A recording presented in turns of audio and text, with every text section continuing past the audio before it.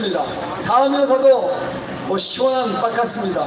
우리 신석원 목사님 모시겠습니다.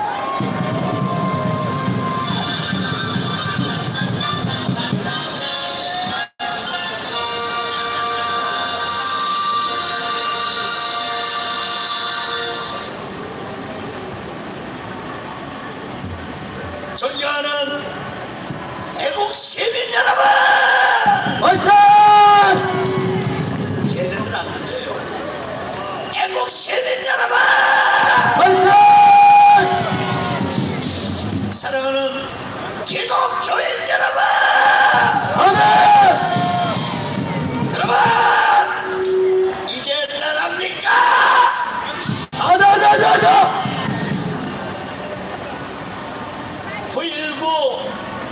평양 공동선언은 북한의 실질적 비핵화 진전도 전혀 없이 대한민국을 김정은에게 송두리째 넘기고자 하는 이적 문서가 바로 9.19 평양 공동 선언이올시다 맞습니다!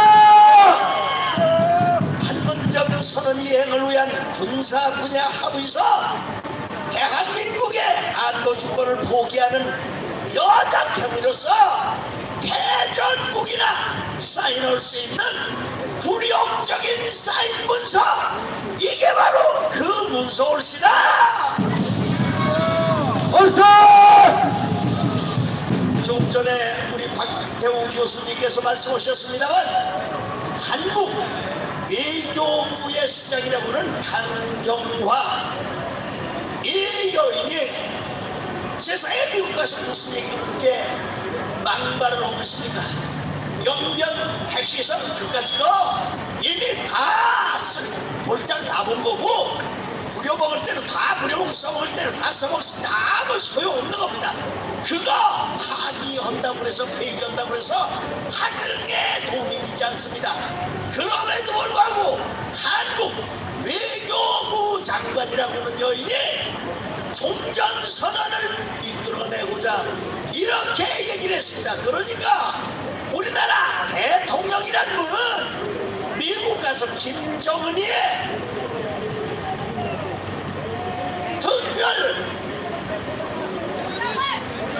대변인 특별 대변인 강경화 외교부 장관은 부대변인 노릇으로 돌아왔습니다. 옳습니다, 여러분! 세계 언론이 전부 다 비아냥대고 있는데 대한민국 국민들 것이 이렇게 창피할 수가 없습니다. 얼싸! 여러분 강경화 장관 때문에 국민들 스트레스 때문에 간경화증 걸리게 생겼어요. 얼싸! 이거 도대체 무슨 일을 일으켜보고 있는 겁니까? 여러분 대한민국의 비핵화가 제일 주 목적입니다. 그럼에도 불구하고 이국의 비핵화는 하나도 드러내지도 못하고 김정은에 의한 어, 김정은만을 위한 그러니까 문법적으로 보면 주소 여목호 주격 소유격 역격 목적격 호격 모두가 다 김정은만을 위해서 나가는 대한민국 정부시다 얼싸이다! 여러분 박정희 대통령 흔적을 지우려고 하는 인간들이십니다. 이런 인간들 고속도로 타지 마라 저희들이 고속도로 탈 자격이 돼? 고속도로! 박정희 대통령께서 때 거기에는 파월 장병들의 예 생명을 바쳐서 벌어온 돈도 그 속에 다 들어있습니다. 그걸 놓을 때 야당이라고 하는 인간들은 김대중이 김영삼이 자기 졸개들 다 끌고 가서 고속도로에서 버려놓 불어두었어요 박정희 대통령께서 독재를 수술해도 그걸 고속도로를 놓지 않았다면 오늘날 대한민국 이렇게 잘 살 수 있었겠습니까? 없습니다! 그런데 박정희 대통령의 흔적은 싹 지우고 어따 대낮에 김일성이 김, 김정일이 김정은이 이 3대 독재 세습만을 위해서 거기다가 목숨을 건 것들이 바로 저 인간들이었습니다. 여러분 문재인은 이래서 여정죄로 고발당한 것입니다. 고발합니다 여러분, 우리가 이래서는 안 됩니다. 우리 대한민국 이렇게 잘 살던 나라가 실업률이 17년 만에 최악이요. 실업자가 125만 명이고, 그리고 실업급여가 역대 최고로 63년 3만 명이나 된다고 합니다. 청년 고용이 지금 절벽 상태에 와 있습니다. 왜 이 잘 사는 나라가 이 뭐냐? 이걸로 낙후돼 있습니까? 우리는 절벽 상태입니다. 여러분, 대한민국은 이미 안보 주권을 포기하는 상태가 됩니다. 여러분, 사랑하는 우리, 우리 대한민국의 애국 시민 여러분, 여러분들은 지금 이런 완전히 실세가 없습니다. 여러분들이 태극기를 들고 국민적 저항운동으로 여러분이 일어서셔야 될 줄로 믿습니다. 우리. 대통령이라고 하는 분은 미국 가서 어떻게 해요? 이거를 뭐 제재를 완화 했다가 안 되면 다시 돌리자. 예! 야, 정신아, 문재인!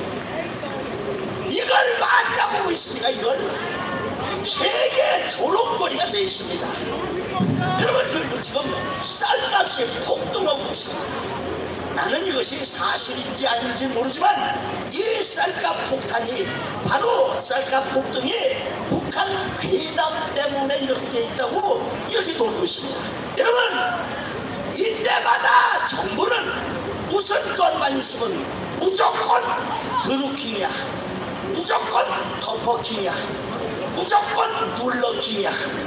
무조건 가격킹이야. 무조건 변명킹이야 이 정부에서 아니라고 의자체로 한 1m를 펄쩍 뛰면서 부인한 것은 그럴 수 있다라고 들으신 것이 좋을 것 같습니다. 대한민국 정부가 지금 이 정부되어 있습니다.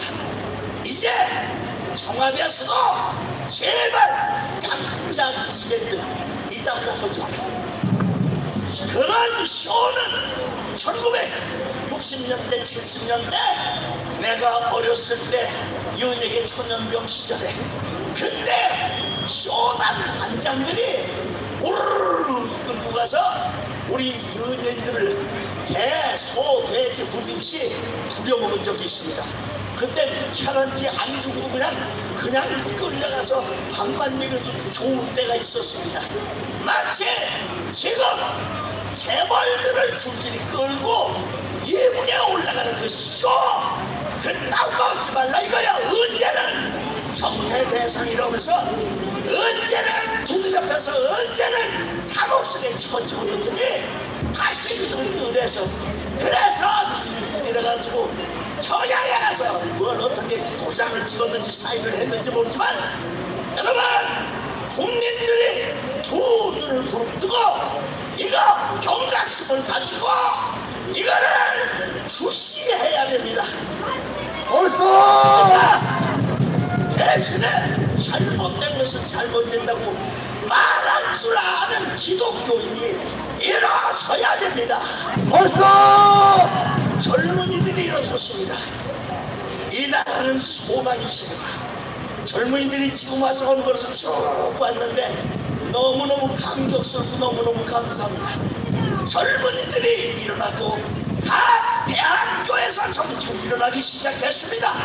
이제 안 일어난 곳이 어딘지 아십니까? 벌써 기독교계입니다. 맞습니다 기독교계가 평화의 축에 있어가지고 지금 벌써부터 성전 뒤에다가 무엇을 써붙이느냐? 평화, 통일, 자유. 뭐 이따운 글씨를 계속 써붙이고 걸개 그림을 그려놨다고 그래요.